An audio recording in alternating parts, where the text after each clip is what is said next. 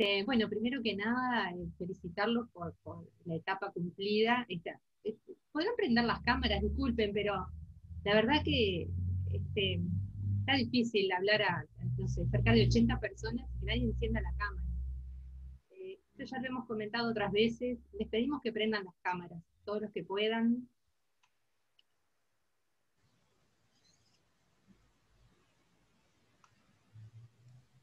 Buen día. Hola, Ida.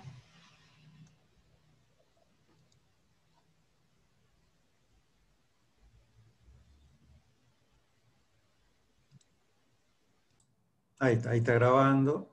ahora sí. Ahora sí. Compartimos la pantalla. Bien. Bueno, entonces lo, que vamos a, ver hoy es esto que, que pretende ser el contexto histórico, ¿verdad? De, bueno, de esta situación en la cual ustedes van a tener que, trabajar, como dijo Adriana y, me contó también, con una serie de diseñadoras, ¿no? Eh, yo la dividí en cuatro partes, vamos a hablar primero de la primera y la segunda parte, ahí hacemos una pequeña pausa y, las dudas que tengan o algún comentario que quieran hacer o aclaración o, bueno, o nada, eh, hacemos una pausa ahí y después retomamos la segunda parte. La primera y la segunda parte se trata de lo que llamamos la modernidad, vamos a ver por qué. Y después en la segunda parte sería como más lo, acercándonos a, lo contemporáneo, entonces hablaríamos de, la posmodernidad y de la contemporaneidad, ¿verdad? Bueno, entonces esto lo llamamos como, como el contexto histórico y de esto que sería como la modernidad en adelante.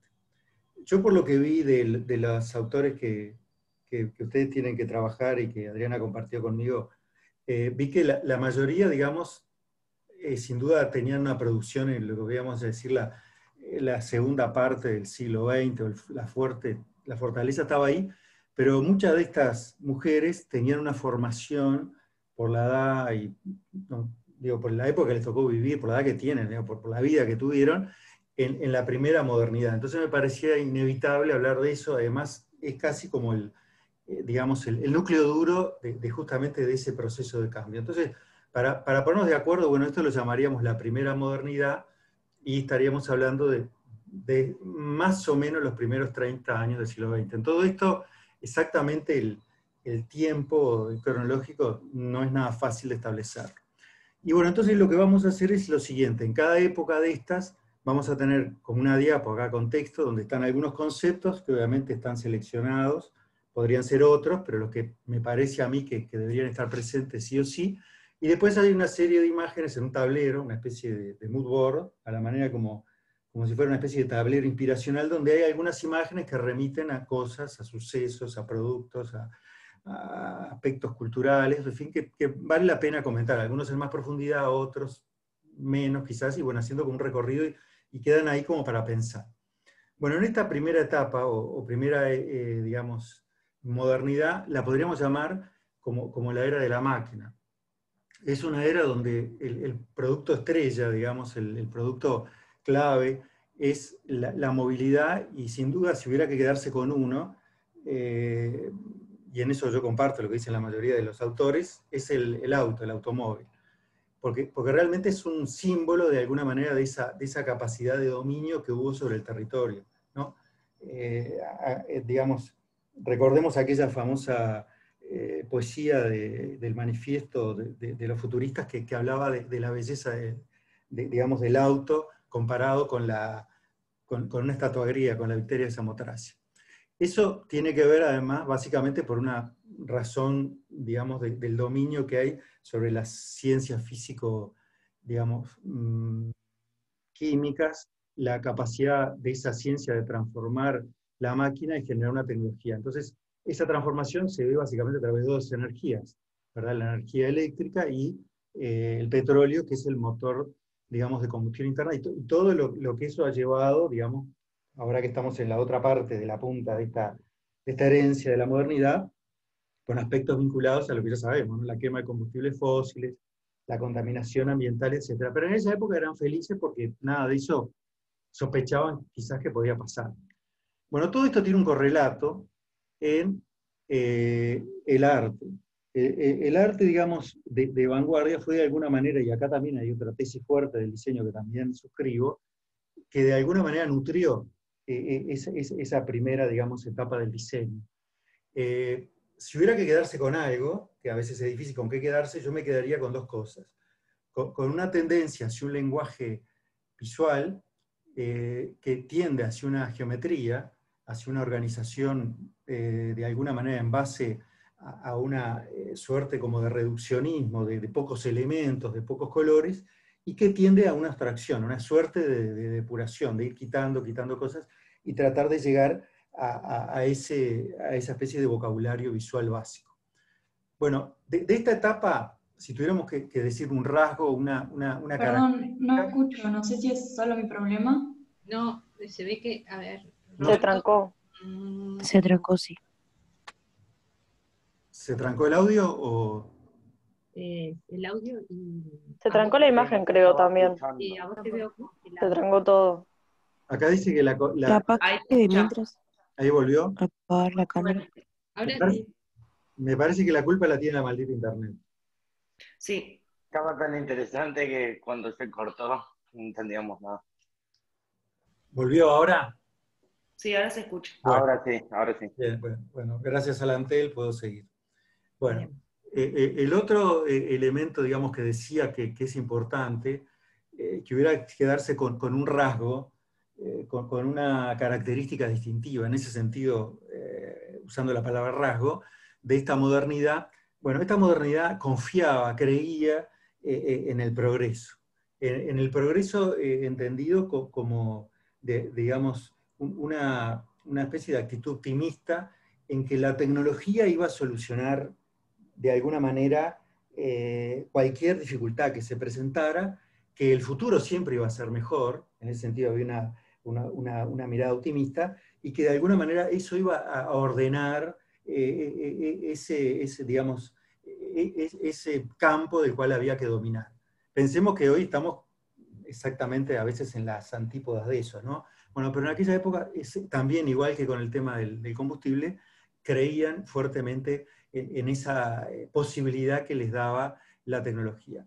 Bueno, por supuesto que esto no se dio en todo, los, digamos, en, si agarramos todo el planeta, no se dio en toda, digamos, la superficie del planeta. Básicamente este discurso fue de, dos lugares del mundo que tuvo mucha fuerza. También es difícil de discutir dónde empieza, pero básicamente también la mayoría de estos autores están de acuerdo que es algo entre Europa occidental, una parte de Europa, ¿verdad? Y Estados Unidos, que era como la zona de influencia básicamente de, ese, eh, digamos, de, esa cultura europea. Por supuesto también una parte, sobre todo de Estados Unidos.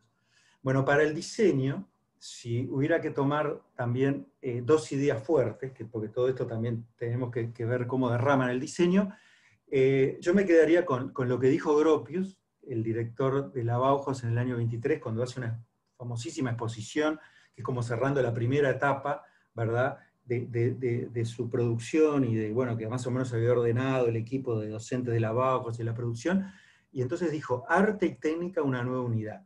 Y de ahí viene entonces esa simbiosis, ¿verdad? Que, nutre el arte de vanguardia, ¿verdad? Y esa idea de generar, como entendía Gropius, los prototipos para una producción industrial. O sea, modelos que de alguna manera iban a poder ser, eh, digamos, en una, en una producción básicamente cuantitativa reproducidos. Esto, por supuesto, que, en, el, mundo de, la industria eh, era más una idea, por, concretamente en el año 23 en Alemania, que un logro, pero eh, hacia ahí apuntaba la cosa.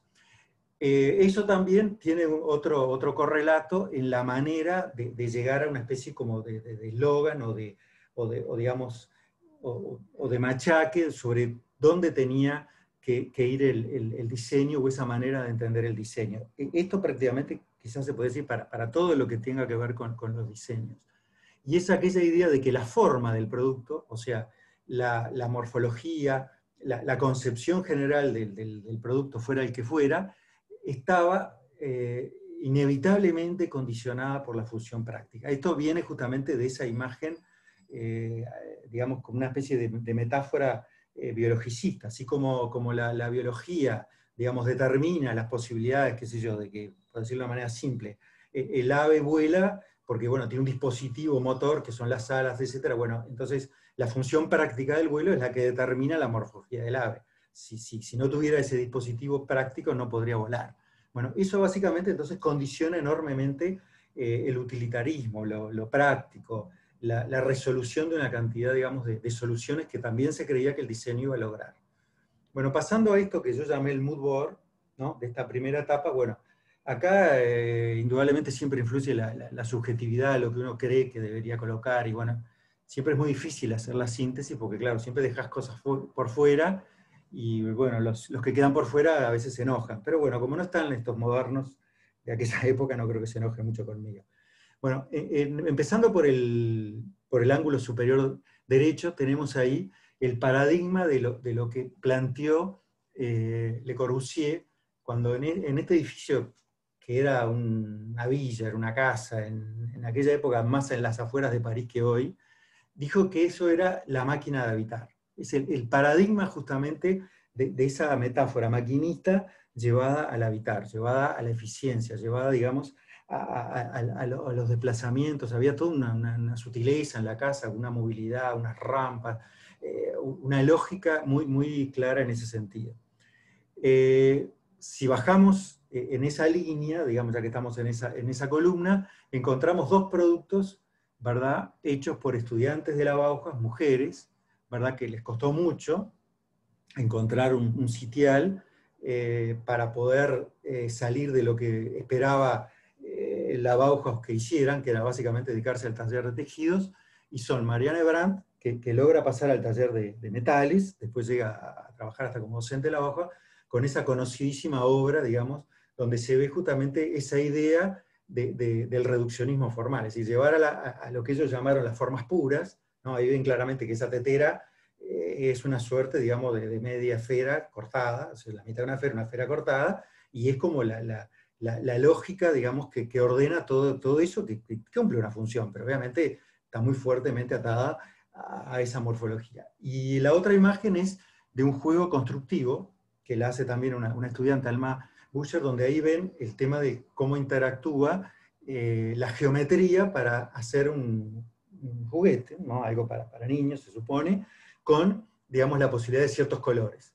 Esos colores enganchan con el tema central que tenemos ahí en ese mood board, que es eh, la lógica de, la vanguardia. ¿no? Acá vemos este cuadro de Mondrian, que es el planismo, los colores primarios, la organización geométrica muy, muy, rígida, muy dura. Eh, por supuesto que todo tiene una lógica, es decir, hay atrás una búsqueda de un orden visual, un equilibrio y la, eh, digamos, la, ausencia total de, de, una narrativa Mm, llegando más bien a, una idea básicamente conceptual. Bueno, eso es adrede, no lo hace Mondrian por casualidad. Y eso derrama también en las terceras dimensiones. Por ejemplo, en esa propuesta que hacía un, ingeniero, que después deviene en artista, que se llamó Alexander Calder, un norteamericano que también eh, recala en Europa, ¿verdad? Y eh, produce, digamos, esta, propuesta donde combina materiales que, no eran esperables en, qué sé yo, eso es difícil de clasificar qué es, pero supone que es una especie de escultura, ¿no? Donde hay alambres, donde hay piezas metálicas, donde se busca el equilibrio. Entonces ven por ahí por dónde va esta idea de, la modernidad. Bueno, esto va a tener un correlato en algunas otras cosas que vemos que es lo que acompaña este mood board. En la, ya que estamos en esta columna central, ¿verdad? En la parte superior, eh, esto se produce, digamos, gracias a, una especie, digamos, de, estrés social por ejemplo, las crisis que, tuvo eh, el sistema capitalista, que es el que permite todo esto. Entonces tenemos esta famosísima eh, imagen por una fotógrafa mujer, ¿verdad? De, los desposeídos, se llamó así, de, California, ¿no? Una madre de siete hijos que ella, digamos, en un periplo por Estados Unidos, eh, digamos, hace el testimonio, digamos, de esta imagen, ¿no? Donde muestra justamente la contracara de, de lo que permitía que todo este sistema funcionara, y, cómo de alguna manera había como, como, como, una, digamos, eh, una, situación de, difícil equilibrio. Y en la, digamos, si ahora vemos en diagonal en los dos opuestos, tenemos una mujer que desafía, Amelia Earhart, creo que se pronuncia así, ¿no? Amelia, ¿qué hizo? Fue la primera mujer que tomó el guante, el desafío de, cruzar sola el Atlántico. Es una especie como de, Santa Exupéry, pero en vez de ser Santa Exupéry, que era el, piloto en solitario, ¿verdad? Ella desafía ese espacio que era básicamente para los varones y cruza el, Atlántico y bueno, después saben que hasta se hizo hace poco una película, desaparece, tengo entendido, en un vuelo por el Pacífico.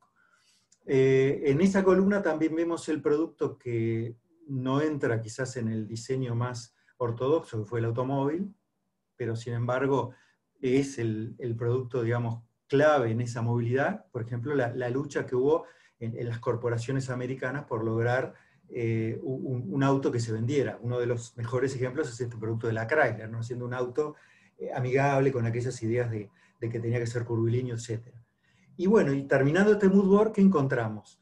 Eh, dos cosas muy fuertes que empiezan a impactar en la vida cotidiana. Por un lado, la moda, tenemos la figura de Coco Chanel, que también es una mujer que, busca un espacio para, aquella indumentaria que era básicamente masculina y ella se la propia, ahí la vemos vestida con el pantalón y su famosa, eh, digamos, este, prenda superior con, esas líneas horizontales, que hasta Picasso aparece en muchas fotos con ese tipo de remera, y la influencia que empieza a tener también eh, determinada indumentaria que era quizás exclusiva de la masculina, como en este caso la famosa moda militar, ya acercándonos al periodo previo a la, Segunda Guerra Mundial, en los años 40.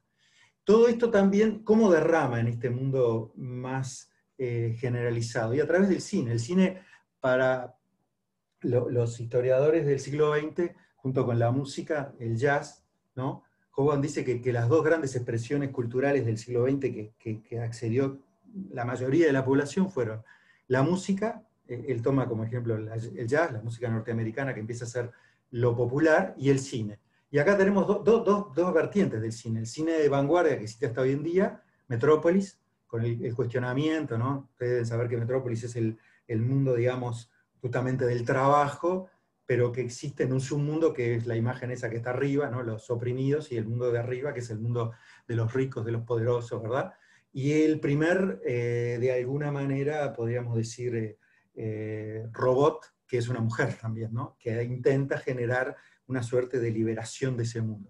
Y a la derecha Hollywood, ¿no? La máquina de los sueños, que es una película que hoy políticamente incorrecta, ¿no? porque habla justamente de, la esclavitud en Estados Unidos, lo que el viento se llevó, Gone with the Wind, que gana, ¿verdad? Una popularidad enorme, nueve Oscars, en fin, no sé a qué le, lo tuvo los Oscars, pero indudablemente tiene que haber sido eh, muy aplamada por, por, la crítica y sobre todo la, esos que dicen que es la, lo digno de ser premiado. Bueno, y así llegamos a la segunda modernidad, que es el, el, núcleo duro quizás de, de, lo que ustedes, de alguna manera, eh, la mayoría de, de, las autoras que tienen, van a tener que trabajar, ¿no? Bueno, ¿cuáles son los conceptos que podemos poner acá? Los conceptos de esta segunda modernidad en realidad es como una diáspora. La diáspora es una palabra que, viene de, la religión, ¿no? La diáspora es la dispersión, ¿no? La dispersión de esa primera modernidad. Es una profundización, pero sobre todo en el territorio de esas ideas.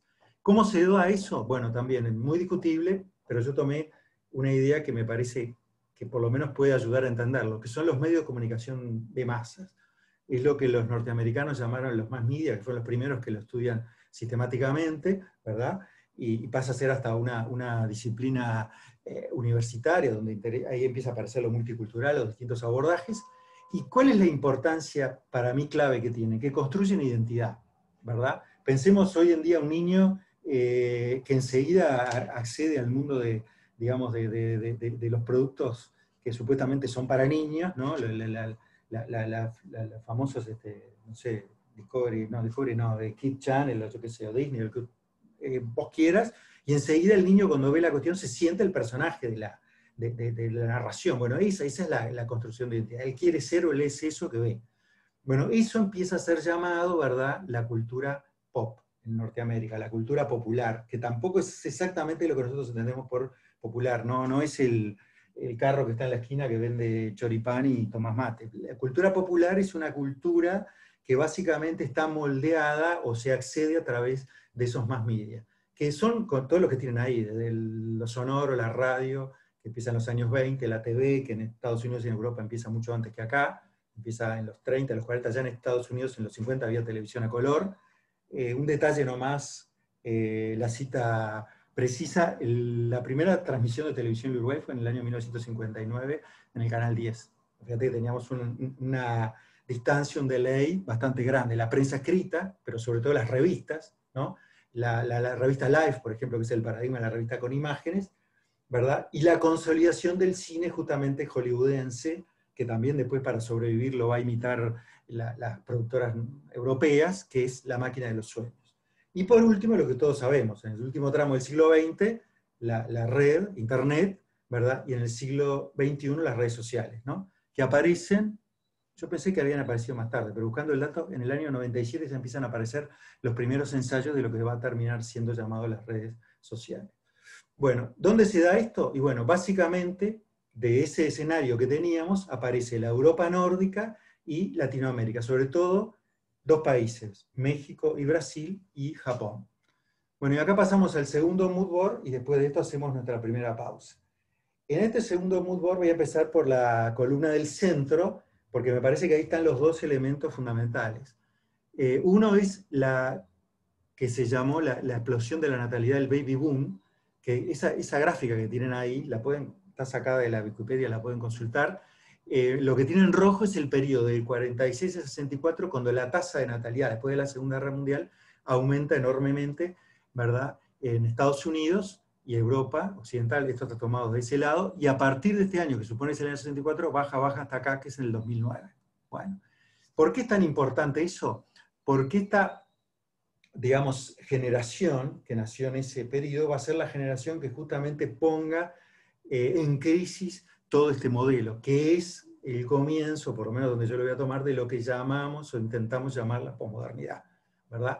O sea, que en el momento de la plenitud es cuando empieza justamente a aparecer eh, las fisuras de este sistema. Siguiendo con esta columna central, acá tenemos también el correlato de ese arte de vanguardia, con dos lógicas que están hasta el día de hoy. Por un lado, la profundización de esa mirada eh, de la vanguardia dura, que es Polo, por tomar un caso, ¿no? el expresionismo abstracto, Estados Unidos, mm, volver, digamos, a profundizar esa línea más fuerte de la abstracción, pero en un lado acá más emocional, ¿no? El Polo que ahí, a mí me encanta esa foto, este, se consiguió una granja ahí en las afueras de Nueva York y bueno, puso la cuestión en el piso y chorreteaba pintura, yo qué sé. ¿Y cuál es la contracara de eso? ¿Verdad? Andy Warhol volviendo a lo que se llama, por ponerle una categoría, lo figurativo. O sea, la imagen no desaparece. Y la imagen que está nutrida básicamente por los medios de comunicación masiva. ¿Se entiende? Entonces, ¿dónde se empieza a enganchar todo esto del el discurso este de vanguardia y del discurso popular? Y bueno, y esta, que quizás sea una de las obras más famosas de él, que está en el MoMA, Museo de Arte Moderno Nueva York. Si estás en el MoMA, pasaste, digamos, al Olimpo del arte y del diseño, más arte que diseño, pero bueno, hay mucho ahí, donde toma las sopas Campbell, ¿verdad? Y las coloca uno al lado de la otra como la, góndola del supermercado, que después va a ser la metáfora de, de, Pink Floyd para hablar de Wall, ¿no? Like a in the Wall y la crítica profunda del modelo educativo.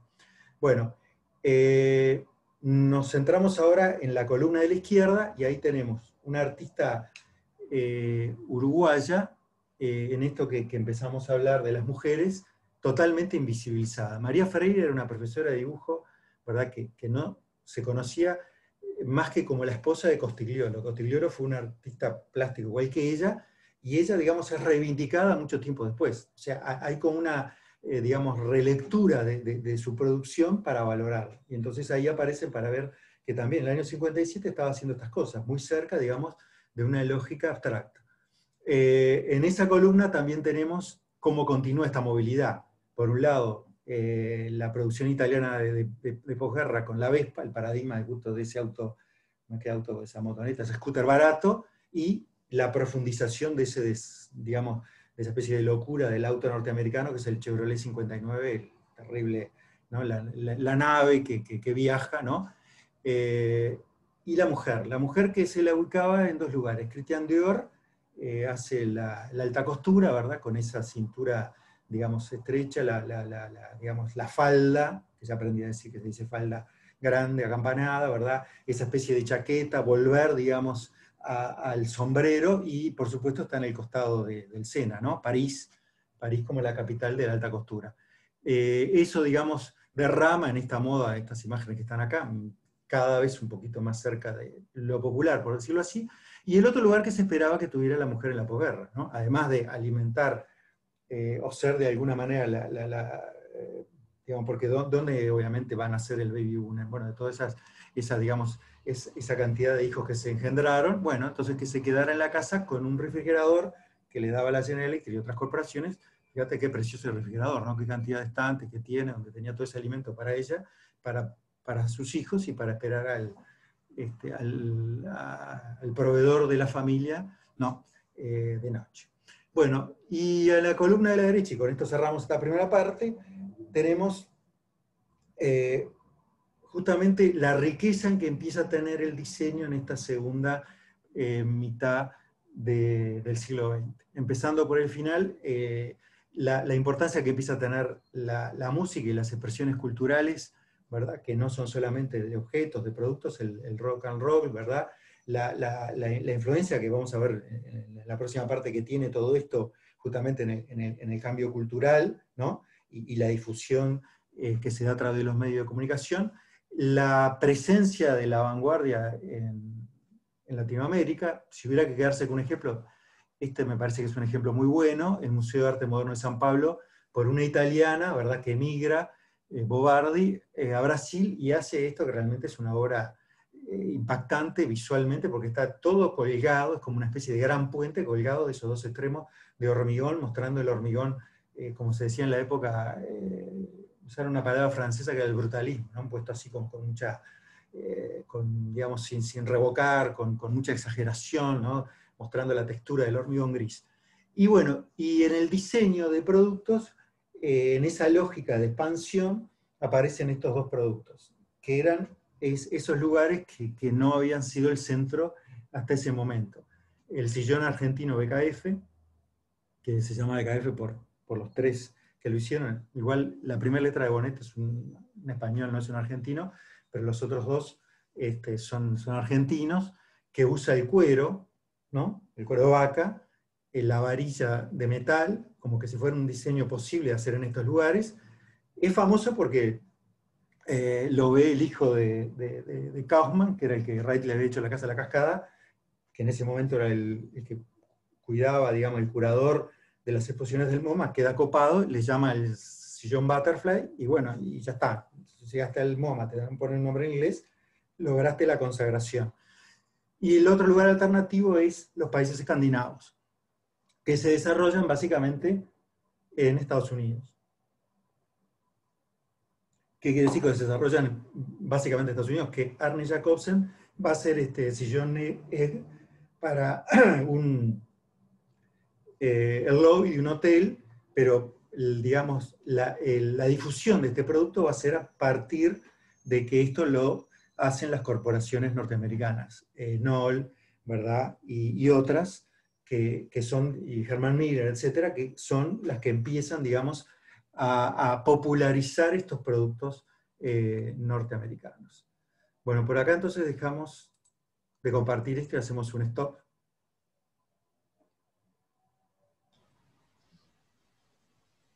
Bien. Hay una pregunta acá. ¿Quieren hacer preguntas?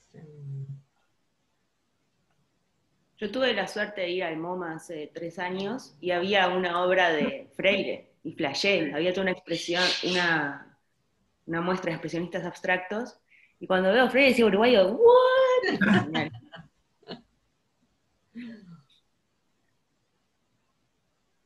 Vos sabés que era, era profesora de dibujo, sí, mi, padre la tuvo de profesora de dibujo.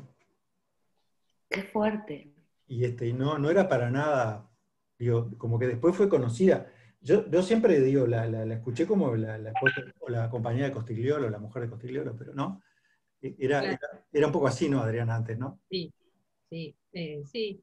No, no, no era, no estaba dentro de la. Cuando vos veías el listado de los artistas uruguayos de esos años.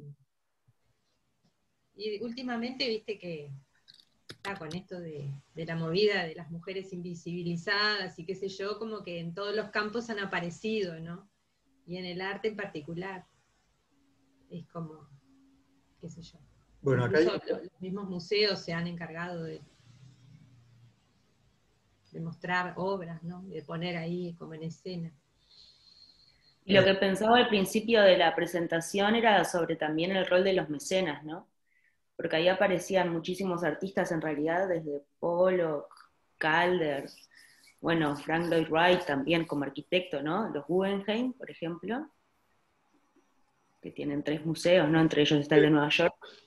Este, y Guggenheim mandando a hacer ese museo, teniendo en, en su casa en Venecia todo un Calder en, en la cama, ¿no? Esa- esas, esas, esas cosas de la alta, alta aristocracia, ¿no? Que el tío de Peggy Guggenheim se murió ahogado en el Titanic. Ah, Los niveles que estamos manejando de élites, ¿no? Sí, claro. acá hay un comentario de André García que dice, en este momento se creía que los medios masivos influían completamente, la teoría de la aguja hipodérmica de publicidad. Sí, la aguja me es una buena teoría. De los 80, ¿no? 70. Sí, no, en No. realidad mucho antes, ¿no? Este, Sí. La máquina de la publicidad arranca, claro, ahí justamente con la posguerra. Sí, es con el, con el boom de la televisión, en realidad. Claro. Eh, que empieza, la publicidad no tiene ningún parámetro de, bueno, esto es lo correcto y esto no se hace. Hacían lo que querían y fue como un, wow, ¿qué está pasando? Mm. a nivel de, de compra, en realidad de consumismo. Y entonces después se estudia y se, y se observa eso. Bueno, acá influye como completamente. No hay una línea de, de protección al, al espectador o, o al cliente. No sé. Claro, lo que pasa es que es parte del sistema, ¿no? El mismo sistema este, genera esa máquina, ¿no? Que la hace parte de, de sí misma. Y entonces, bueno, tanto la, lo que decía Roberto, esto en realidad arranca, la máquina publicitaria arranca con las primeras publicaciones, las revistas, revistas para mujeres, hágalo usted mismo, no sé qué, no sé cuánto, todas esas, esas cuestiones que ahora uno los ve en internet y le parece wow, viste, pero en realidad ya existía, ¿no? Eh, acá se vendía la revista Hobby, ¿no? Yo misma tengo una colección enorme, ¿no? De las hobby viejas, este, que... Yo tengo unas eso, cuantas te de mi enseñaban- abuela. ¿eh? No sé si esa revista, pero tengo unas cuantas de con datos de cocina y, y moldería para hacer ropa y que se vendían acá viejísimas. la burda, ¿no? Que es de los años 50, ¿no? El origen, por ahí, 60, este, que te traían todos los patrones para que vos te pudieras hacer tu propia, tu propia ropa, ¿no? Este, pero es eso también, ¿no? Está aquella cuestión de mantener la mujer en la casa después de la guerra, lo que decía Roberto, ¿no? Esa tendencia a, a que la mujer tiene que volver al hogar, porque claro, durante la guerra la que se ocupó de todas las tareas eran las mujeres, los hombres estaban peleándose, ¿no? Cagándose a tiros, y yo qué sé, las mujeres se hicieron cargo de todo, de la industria, de la familia, de, ¿no? De todo, el comercio, ta, ta, ta. ¿Qué pasó? Cuando el hombre vuelve al hogar, se intenta que aquello vuelva, ¿no? Que vuelva todo el orden preestablecido, ¿no? Las mujeres al hogar, criar hijos, papá, papá. La sociedad norteamericana, las mujeres más conservadoras, qué sé yo, eh, asumen ese rol, y bueno, y de ahí el baby boomer, la mujer al hogar, me encargo de criar hijos. Fenómeno. Nace una nueva generación, pero hubo otra cantidad de mujeres que no, que se resisten a eso, y eso da origen a los movimientos feministas de los años 60 conjuntamente con qué? Con los movimientos hippies, ¿no? De los jóvenes también, de los baby boomers, ¿no? Que de alguna manera se enfrentan con el sistema, ¿no? Y proponen caminos alternativos, ¿no? Todos los hippies, toda la cuestión, volver a la naturaleza, paz y amor, ¿no? Este, qué sé yo, libertad, la libertad era como lo, lo- ¿no? La- la- aquellos principios defendidos, por- mientras te dejo descansar con la, con la garganta, Roberto, este, Gracias. aquella defensa de la cuestión este, de, la, de la naturaleza, la paz, paz y amor, y no sé qué, y no a la guerra, ¿no? Entre medio de todo eso, Vietnam, los jóvenes de 18 años que los mandan allá a matarse, a cagarse a tiros a Vietnam, toda la historia, ¿no? Todo lo que ya, ya sabemos. Entonces, todo ese contexto, ¿no? Apoyado por la televisión que te dice, las publicaciones que te dice, hacete tu propia ropa, no sé qué, te vendo la máquina, que no, ya venía del siglo XIX, pero te vengo la máquina de coser, ¿no? Chiquita para que puedas hacerte tu propia ropita, ¿no? Para ti, para tus niños. Este, eh, lo que decía Roberto, la heladera, los electrodomésticos, ¿no? Principio del siglo XX, el desarrollo brutal de los electrodomésticos, la aspiradora, esto, lo otro, para que, para que vos misma puedas limpiarte tu propia casa. Es brillante la idea, ¿no? Está, paralelamente a eso hay un montón de mujeres que deciden, deciden no, pero que digamos, de alguna manera empieza como esa lucha de que, bueno, ¿por qué este, este es el asunto? ¿no? ¿no? es este el asunto. El asunto es que nosotras somos personas, básicamente, y queremos definir nuestras propias vidas. Sumado a eso, la pastilla anticonceptiva, qué sé yo, todas estas cuestiones, control de natalidad, listo, empezamos a decidir que queremos trabajar, queremos esto, queremos lo otro, nuestra propia vida, nuestras propias formas. Listo. Entonces, bueno, entre medio de todo eso están todas estas mujeres diseñando, ¿no? Que son las que este, nos están dando hoy un, pretexto para este, tener esta mirada hacia, sobre todo la segunda mitad del siglo XX y principios del siglo XXI. Este, pero bueno, a, ver si hay alguien que quiera hacer algún otro comentario o pregunta. Yo quería decir que también cómo rompió con los esquemas, ¿no? Porque de, la mujer pasar a, a, no, prácticamente creo que fue en el 60 que se empezaron a utilizar las minifaldas. Claro. Que fue que te empezaron a romper con esos esquemas de, de cómo las mujeres de, generaciones anteriores eh, estaban tan acopladas a ese sistema que, que las oprimía, que después de la guerra hasta ellas mismas se encargaban de hacer las balas y, las municiones para enviar al... Los sí, todo, todo. Todo. Y, y, cómo se logró romper con ese esquema que, que atravesó durante todo el tiempo, ¿no? Porque eh, si venimos más atrás, el, futurismo prácticamente no, no, pretendía estar eh, presente en, los tiempos mm. que, se avecinaban, sino que en realidad era como una locomotora que iba con todo hacia adelante a, hacer, avances constantemente, ¿no? Sí, claro. Este, en realidad el, se logró, ¿viste? No es se logró, sino que las mujeres, se luchó, en realidad. Y costó muchísimo, ¿no? Costó muchísimo, y sigue costando, porque es una realidad que habitamos hoy, ¿no? Sigue costando, en mucho menos, por supuesto, en mucho menos grado, y estamos en una situación mucho más igualitaria y todo lo demás. Estamos como, ¿no? Digamos, creciendo en ese sentido, todos crecemos, ¿no? Hombres y mujeres, hombres, mujeres y todo lo demás, ¿no? Este, eh, claro, sí, porque hoy también se habla de, otras integraciones, que de, otras igualdades que en ese momento ni se cuestionaban. El asunto de ahí era entre hombres y mujeres, ¿no? Después viene todo lo demás. Este, Igual era, era como que polémico que la mujer tomara e, esa, esa postura de, de también de ponerse a la par con el hombre también. No, solo polémico, era no solo a la par, sino que tomar su lugar en sí, un lugar que estaba siendo oprimido por... Claro, porque en realidad no es a la par, no nos interesa estar a la par de nada. No, no, por eso. queremos ser nosotros, y listo, cada uno quiere ser cada uno, ese es el asunto, ¿no? Entonces, bueno, está, pero, pero eso como que tiene una, un origen, ¿no? Para entender un poquito este mm. proceso, tiene un origen que justamente tiene que ver con la Segunda Guerra Mundial, ¿no? Donde las mujeres empiezan a asumir esos roles y en realidad esto ya había pasado en la Primera Guerra, ¿no? La Primera Guerra que termina en el 18, 1918, y en ese contexto está Coco Chanel, ¿no? Cuando toma, después de la guerra, o ahí en el contexto de guerra, toma el pantalón y la remera del marinero y se lo pone, ¿no? O se pone los pantalones del novio para subirse a, un caballo. No sé si vieron las, las películas de Coco Chanel, pero son maravillosas, ¿no? Hay varias, y hay varios videos, y yo no sé ella se pone el pantalón de, su novio y se sube al caballo igual que un hombre.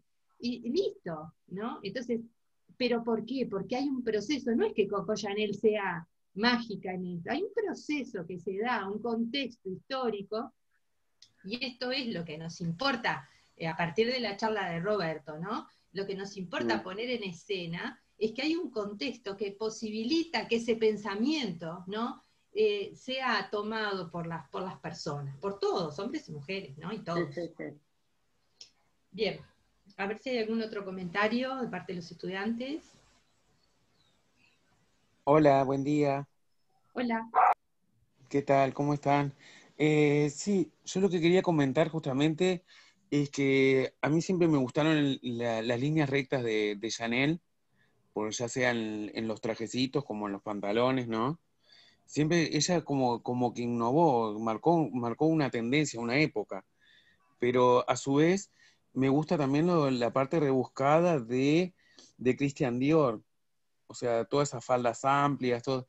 Pienso que para haber estado casi en la misma época, como que marcaron una tendencia muy distinta uno del otro, ¿no? Y este, y justamente me parece que una de las maneras que, que tuvieron de, de marcar tendencia, justamente Chanel, por ejemplo, cuando, cuando apareció, no solo como, como decías tú, con, con el pantalón del novio, sino el hecho de que fuera una mujer que, que subiera fotos fumando, que era muy, en, ese momento era más, más el hombre, ¿no? Una, Sí, imagen meramente masculina en ese Sí, momento. responden, responden a intereses distintos, ¿no? Totalmente. claro, hay ideales distintos. Eh, sobre eso de, de fumar, eh, no sé bien, bien de qué época estás- hablando, pero en un momento se comenzó a utilizar el símbolo, eh, o sea, la mujer fumando, eh, por el tema del erotismo. Y comenzó sobre todo por unas películas eh, que ahora no me acuerdo cómo era. Algo, se llama, el género era algo, cine negro, puede ser. Sí. Eh, y justamente eran como ambientes oscuros, como de detectives o ese estilo, y ahí aparece el símbolo de la mujer, del La mujer fatal. y les pare- la mujer, la femme fatal, y, Sí. y, ta, y como que ahí se, se utilizaba muchísimo. Que, Claro. que Sí, un, gra- sí, un gran difusor de este asunto es, es la cinematografía, lo que decía Roberto, ¿no? Nos propone ideales, nos propone ideales de, de vida, Mm, y sí. modelos, que vos decís, yo quiero ser ella. Y entonces Sí, es que ¿no? ahí creo que salió también el, el estereotipo de actriz estadounidense, que era rubia, usualmente la vestían con rojo. eh, la eh, boca no me acuerdo bien. de rojo. Sí, con el lunarcito. No me acuerdo bien eh, quién, quién era el, el director, de- un director hubo muy conocido eh, que hizo Ah, un hizo una película que era él mirando todo el tiempo a su vecindario por la ventana. Es muy conocido ese, ese director. La no mirada indiscreta se llama esa Esa. película. Esa, sí. Sí, sí, bruta película. Está, está Ah, pero muy esa- buena. la mirada indiscreta es como de los años 50, ¿no? Sí, sí, fue de la, Sí. fue como de las prim- primeras, ¿no? Sí, Esa no, sí, sí. no es tanto la, De la Fatal, era 50. un estilo distinto como, pero está muy interesante ver ese Y estilo. de- ella era, ella era estilo. este. em. Grace Kelly, Grace, ¿no es? Grace Kelly, Grace Kelly. La, venta, la, la La ventana ventana indiscreta, me parece. indiscreta. La ventana La ventana indiscreta. indiscreta. La ventana indiscreta con Grace Kelly, y creo que el otro es este. ay, bah, no me acuerdo. Gary Grant, ¿no era? Cary Grant, sí, Cary Grant, totalmente. Está muy bueno. Bueno, muy Vale bien. mucho la pena verlo. No es que Ah, sea no, y algo que me parecía como importante eh, remarcar, a- aparte de los, de los medios de, de comunicación que, que, como decían, hacían que uno se, se identificara con algunas cosas o tomara esa personalidad, eh, a su vez el tema de- del diseño mismo también se comenzó a, a abrir muchísimo en, en esas épocas, antes de, de- de pasar a ser algo estipulado o una forma de vestir determinada, por más que seguía existiendo como una, una base o una moda, porque cada época tiene como su, su- su forma, digamos, más amplia de la población de vestirse, eh, había más personalidad en las prendas, más, o sea, como que una prenda en vez de ser una remera ya pasaba a ser que un top, que con voladitos, que con este color, que con esta forma. Eh, se amplió muchísimo y eso también dio una gran sensación de personalidad a cada uno. Claro. y también me parecía importante como remarcar eso. Bien. Alguien dice acá, creo que era de Hitchcock. Puede ser. Sí, sí, sí, sí, era él. Tan indiscreta. Hay unas cuantas de Hitchcock que son bien representativas de esa época. Sí, es Alfred Hitchcock, sí. Si mm, no hay más comentarios, capaz que Roberto, si ya descansaste.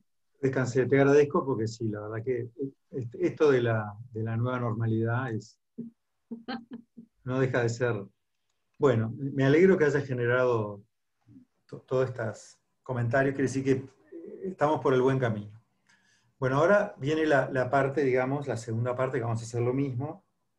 Eh, esta parte, si se quiere, es más polémica, porque acá la, experiencia que todos podemos tener eh, marca un grado de subjetividad, pero bueno, el tema este justamente de la posmodernidad, eh, como llaman algunos, otros como Bauman dice que, usó la metáfora de, la liquidez, diciendo que, esta modernidad que en realidad ya tenía el, proyecto de, disolución, como dice Bauman, ¿qué, es lo que hizo la modernidad sino cuestionar el sistema, el statu quo?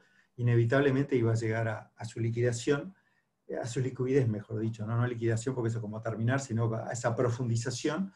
Y él dice que, usa los líquidos porque los líquidos necesitan, eh, que es lo que quizás a mí me gusta de la metáfora, necesitan siempre un, digamos, algo que los contenga. El líquido se derrama, eh, el líquido, digamos, no a, diferencia del sólido, el sólido siempre tiene una, forma, es decir, el líquido adquiere la forma por el recipiente donde está. Eso me parece bien interesante. Eh, bueno, e, este, este periodo que vamos a ver eh, en esta moodboard que viene ahora, en vez de hablar tanto del diseño, vamos a hablar más bien de, lo epocal, de, qué es lo que lleva a que eso pase. Y también es sumamente discutible cuándo empieza la posmodernidad, si es que se le puede poner una fecha, ¿no? porque algunos dicen que cuando ya Nietzsche habló, digamos, de, la sospecha del mundo moderno, ya estábamos en una situación de, posmodernidad, después otros toman a, a Benjamin, cuando, cuando ya empieza a hablar, digamos, de, el ascenso de los totalitarismos en, el siglo XX, en fin. Y la discusión sigue y sigue y seguirá. Pero bueno, vamos a tomar, eh, yo acá mm, me baso, porque en algún lado siempre tenés que poner un poco la, digamos, el, punto de referencia en lo que dice Torrente y Marín, que son, eh, no, Rosalía Torrente, ya que estamos hablando de la mujer, es una profesora de, historia del diseño, y además es un libro con, que justamente se llama Historia del Diseño Industrial, y ellas los dos dicen que el epicentro está en los años 80 del siglo XX. ¿no? Pero ¿qué pasa? Para llegar a eso, tiene que haber, digamos, y acá son los conceptos importantes, digamos, que quisiera también detenerme, una serie de, situaciones, de cosas, algo tuvo que haber pasado para que se diera así. Entonces, bueno, también tratando de tomar algunos aspectos y cargando, digamos, eh, o la, búsqueda de, poder entender esto en algunos, estaría la, digamos, la, época que se llamó postindustrial. Frente a esa situación de, la primera modernidad, que básicamente era la, planta del automóvil, el modelo fordista, ¿no? Detroit haciendo el auto, digamos, donde el, obrero estaba anclado al, digamos, al, tren de montaje y básicamente su tarea repetitiva, como hizo Chaplin en su famosa película, la parodia Tiempos Modernos, aparece justamente una época postindustrial, donde quizás eh, haya un empresario que no sé, está en algún lugar en Silicon Valley y el producto se termina haciendo en no sé qué lugar de China. ¿no? O sea, la, planta eh, industrial, en vez de estar eh, atada a un lugar, está dispersa.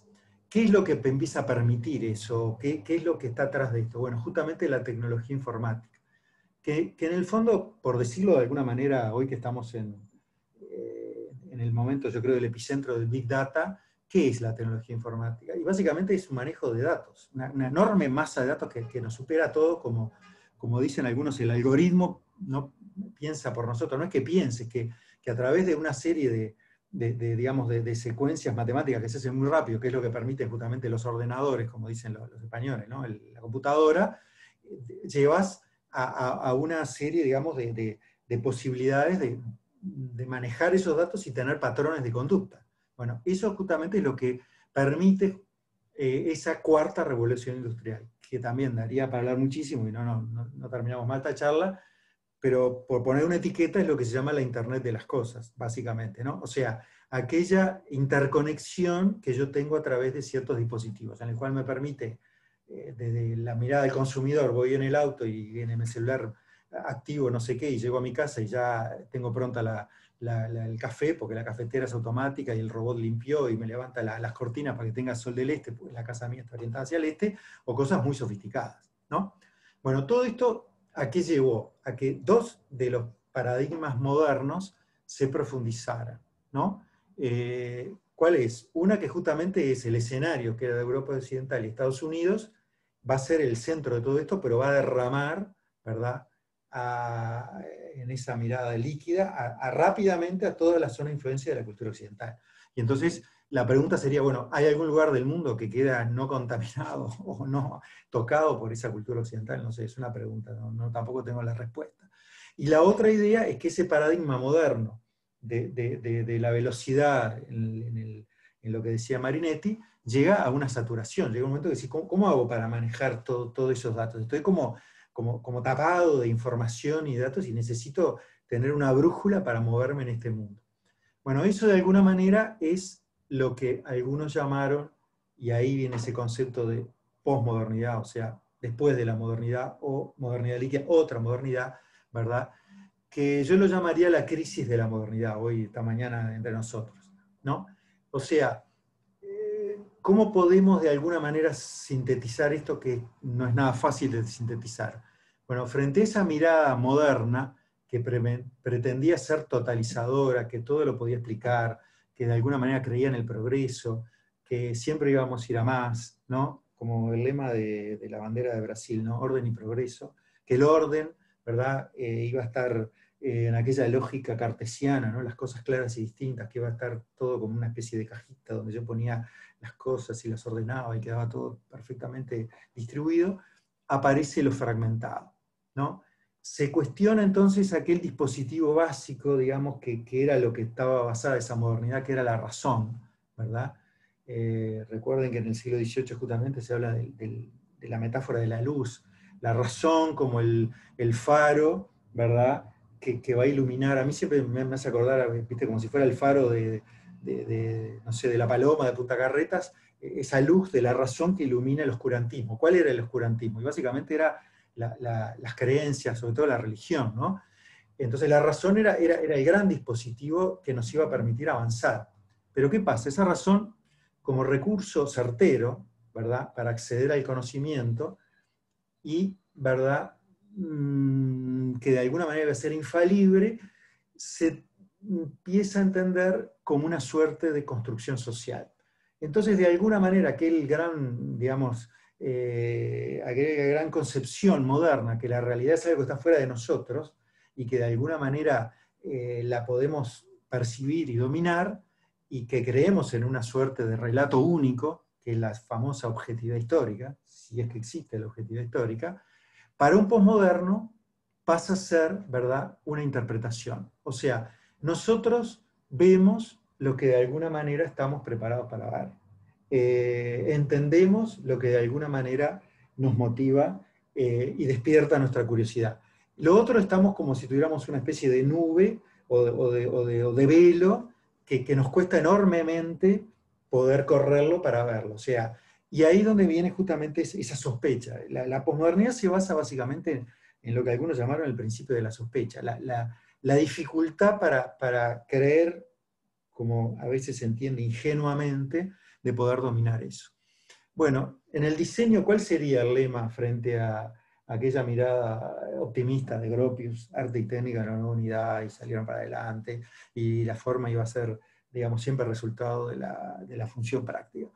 Y bueno, la forma en realidad debería, si admitimos que, esta, casa que, habitamos está habitada por, muchas cosas que no podemos dominar, eh, por la emoción, ¿verdad? Y la emoción no es lo que a veces creemos, por lo menos rápidamente, si nos apretan como un sentimiento, como algo subjetividad, sino es una reacción psicofisiológica frente a los estímulos. O sea que tiene una, una gran cuota de, de posibilidad de ser medida. Por eso ahí ven como la trama es muy sutil, se empieza a tejer. Por eso el algoritmo que, que, y que por eso te tira, como dice la gente, ay, ¿por qué siempre me sale la película que voy a esperar a ver en, en, en, en, el streaming o por qué Google me aparece la propaganda? Y bueno, porque de alguna manera vos frente a cierto estímulo parece que tendés a reaccionar de determinada manera, ¿se entiende? Entonces, todo esto es lo que de alguna manera teje este sutil entramado de la posmodernidad o modernidad líquida.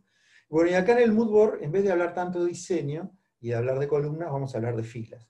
Y también, bueno, tuve que elegir algo y siempre que elegís, eh, abro el paraguas porque, viste, hay cosas que quedaron afuera, pero bueno, eh, tenés miedo que llueva. En la primera fila, ¿qué tenemos? La Guerra Fría, que sería nuestro primer, digamos, nuestra primera estación, nos paramos acá, que si hubiera que quedarse con, con dos ejemplos de, de, eso, sería la Guerra de Indochina, que fue lo que se llamó la Guerra de Vietnam, podría haber muchísimos ejemplos, la Guerra de Corea, eh, de alguna manera el enfrentamiento que hubo en Latinoamérica, en las llamadas guerrillas, etcétera, y largo, etcétera. Y después, la, juventud esa de los baby boomers que empiezan a estar desconforme con ese modelo europeo que parecía que era el mejor de los lugares que podía vivir, que es el, la llamada revuelta estudiantil del mayo del 68, ¿no? Tenemos este, la imaginación del poder. Por otro lado, en el centro que tenemos, la, la, actitud, digamos, de lo que se llamó en inglés de Women Liberation Movement, ¿no? El movimiento de liberación de la mujer que es un largo proceso, acá habla, esto también es información de la Wikipedia, lo pone en 20 años, del 60 al 80, que se da básicamente en los países industrializados. Y esa imagen creo que es bastante, eh, digamos, bastante elocuente de, una suerte de movilización constante en la búsqueda de, algo que no te lo van a dar si no salís a conquistarlo.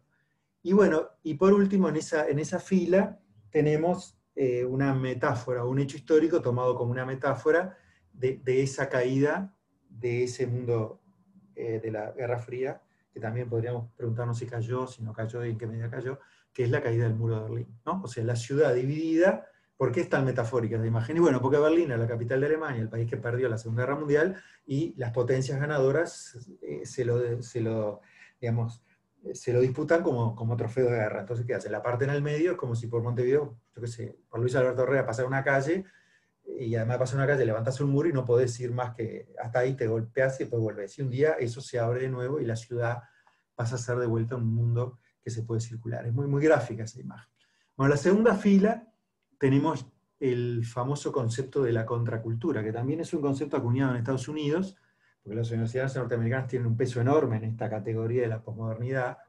Muchos dicen que, que Jameson y tantos autores que, que escribieron muchas cosas la mayoría ha venido del, mundo de la literatura, ¿no? como Derrida y demás, el concepto de construcción, se da en las universidades norteamericanas. Foucault, era, eh, que es uno de los grandes padres del discurso posmoderno, era muy afín a, digamos, a, esa, mirada que tenían las universidades norteamericanas. ¿no?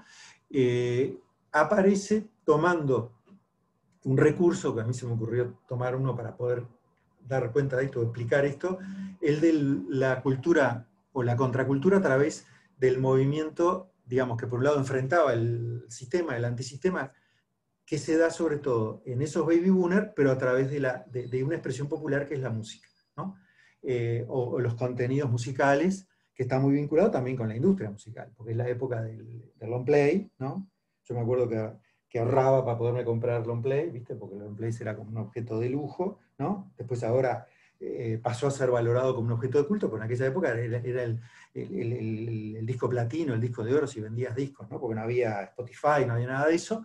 Y bueno, y por un lado está e, esa, esa tendencia a, la pujanza en esa, esa, industria cultural, pero por otro lado los movimientos juveniles que se resisten. Un ejemplo, eh, la contracara de ese mayo francés en Estados Unidos puede ser Gusto. Esos tres días de música eh, y, digamos, ahí está el, acto inaugural, que es como una especie de acto, digamos, este, iba a decir chama, chamamista, no sé, es una cuestión vinculada con, con, con la, eh, aspectos religiosos no occidentales, ¿no?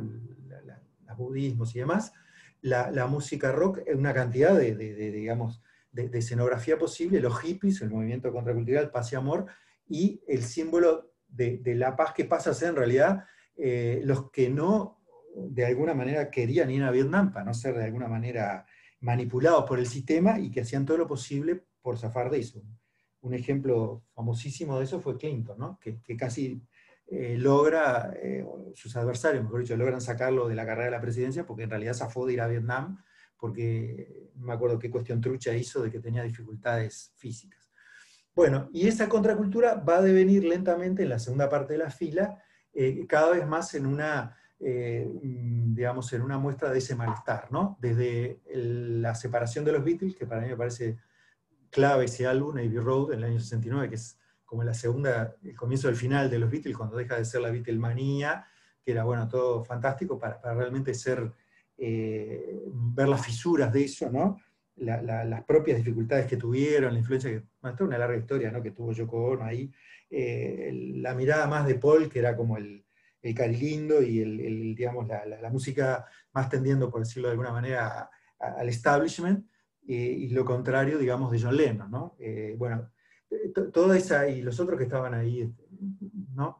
mirando quizás esa disputa, con los, los, movimientos que ya van más hacia, hacia digamos, la, la, búsqueda del antisistema duro, ¿no? como ejemplo el, surgimiento de, los grupos pan rock, donde además ya no es solamente es eh, una cuestión de, de, expresión musical, sino que también derrama en, en, en una cuestión de, militancia y demás. ¿no? Esto coincide con la época de Thatcher en, Inglaterra, etc. Bueno, y en la última fila que tenemos, las, las grandes, digamos, contradicciones de este sistema que había nacido en esa época, digamos, de la primera modernidad, que estaba muy vinculado con la, industria, con lo que se llamó la revolución industrial, y empieza a mostrar sus fisuras, ¿no? De ese consumo pasamos al consumismo. Entonces, ¿qué pasa? Todas esas fábricas eh, nos damos cuenta que, que contaminan, nos damos cuenta que hay una cantidad de basura que generamos porque los productos tienen una obsolescencia programada y que no sabemos manejarla, aparecen los movimientos alternativos, el ambientalista, eh, la búsqueda acá con esto que está ahí en verde que es reflexiona, es la búsqueda de un, digamos, lo que sería como, eh, digamos, educar al consumidor, y después los dos grandes, eh, para mí, fascinaciones de, este, de, esta, de esta última modernidad, que es eh, el mundo de las pantallas y el mundo del smartphone. ¿no? Eh, yo creo que el Windows 3.1 fue, tengo entendido que fue la disputa entre Steve Jobs y el amigo de, la, digamos, de, Windows, este, de la Microsoft, ¿no? Este, Bill Gates, que justamente saca la idea de hacer amigable el famoso DOS. Entonces crea las famosas carpetitas y los iconos, y bueno, eso populariza el software y hace justamente que la informática se, por ensayo de error se vaya imponiendo. Y el smartphone, y bueno, es el, proceso de la comunicación llevada a la hipercomunicación, y bueno, y que hoy en día estás, eh, todos saben dónde estás. Bueno, para terminar esta, esta mirada, mm, bueno, ¿cuál, sería la, metáfora visual posible? Y bueno, un caleidoscopio, o sea, una, una suerte de dispositivo en los cuales la imagen siempre se rearma a medida que la movemos, ¿no? Hay una imagen muy linda, con fractal, pero bueno, capaz que no es tan linda, pero bueno, es inestable, cambia y va moviéndose. Y bueno, y finalmente llegamos al mundo contemporáneo, que en vez de hablar de, una modernidad más, más fuerte, más clara, más dura, podemos hablar de, tendencias, ¿no? Y en esas tendencias yo tomaría algunas, ¿no? Por un lado, la, postura más eh, como sensible a, a, esta crisis, digamos, provocada por, esta, digamos, por estos excesos que hemos tenido con, digamos, con este, este planeta donde se da la vida, entonces ahí vienen todos los ambientalismos, la búsqueda de, una vida saludable en todos los planos, desde la alimentación, el cuidado físico, etc., y una mirada más totalizadora, ¿no? todos los, los, solismos, ¿no? las miradas holísticas, ¿no? que en griego holos quiere decir todo. Y por otro lado, la fuerte presencia que no desapareció y que quizás está bueno que no desaparezca, de que a través de la innovación y de la investigación vamos a encontrar la solución tecnológica. ¿no? Eh, la metáfora contemporánea de esto, ¿qué sería? El COVID-19 lo vamos a solucionar, en el, si te paras en la columna de la derecha, con la vacuna.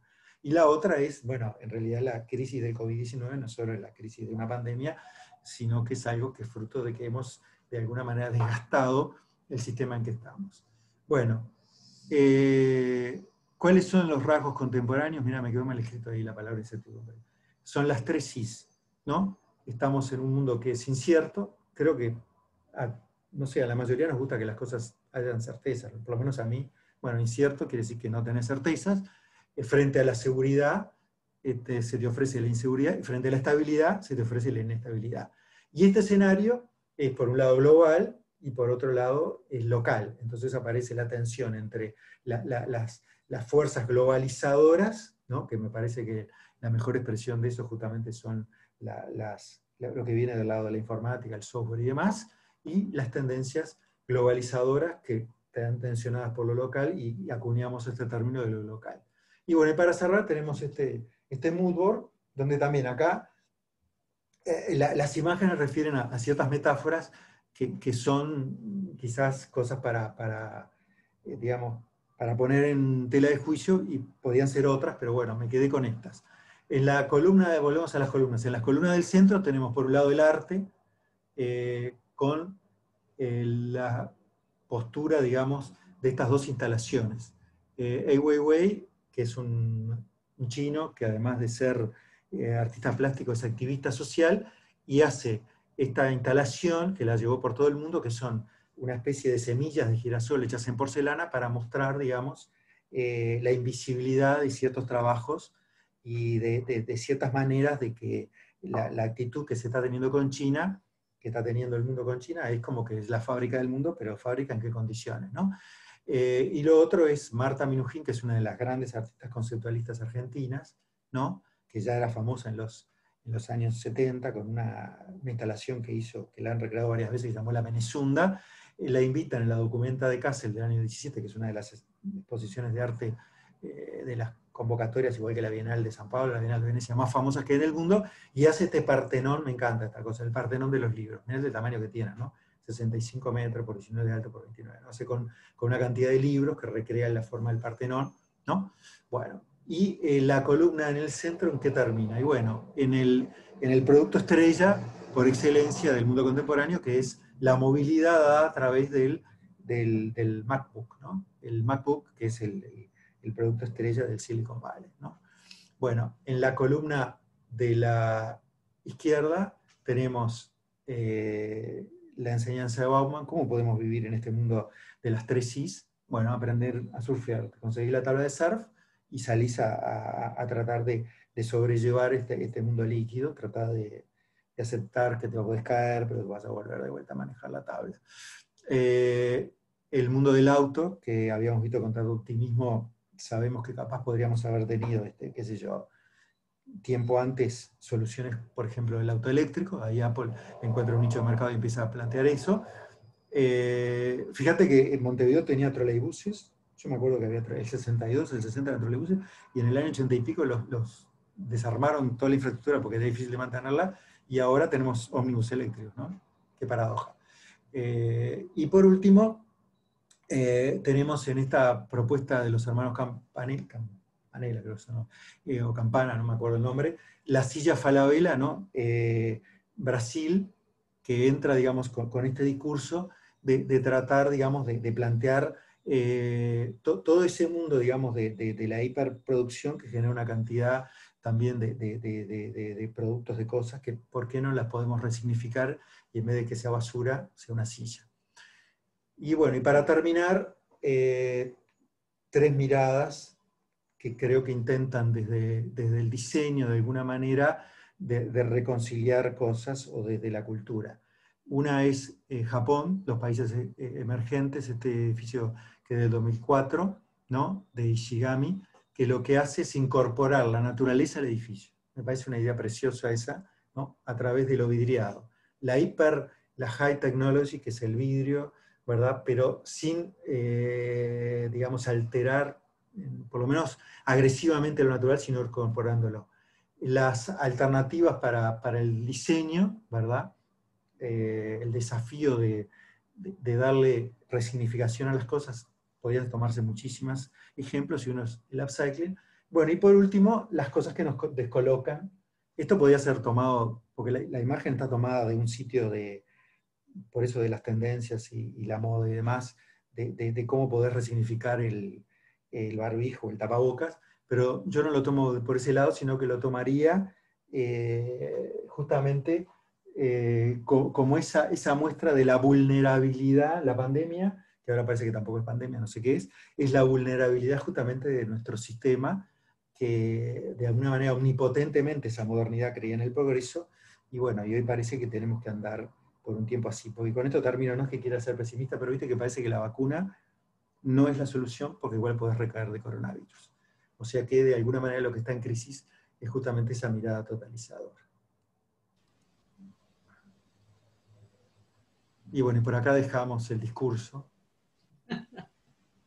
¿Te gustó, Adriana, lo del tapabocas? Perfecto.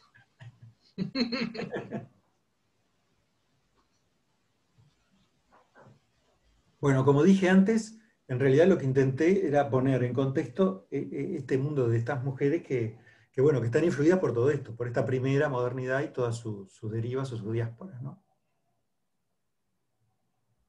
Creo que esta, este, esta presentación tuya, este, Roberto, es un, gran mapa, ¿no? Genial, que nos permite ubicar ahí de repente algunas pistas, ¿no? Pa- Para, cada uno, que, este, bueno, te permita contextualizar, y bueno, y, esto es como el puntapié para que te pongas a indagar, ¿no? Porque no es que con esto te va a alcanzar para nada.